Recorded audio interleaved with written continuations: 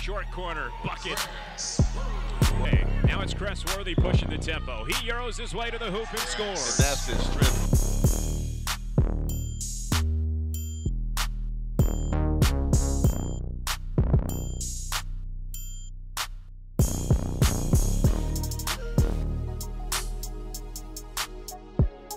Shoulder to shoulder with Shavon Jackson. On the other end, Cousins swats it away.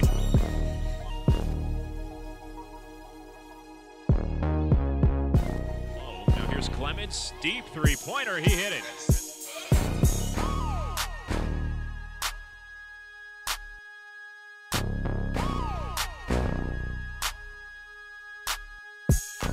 Clements came up with a steal, leads Worthy, two on one, puts it up, rattles it down.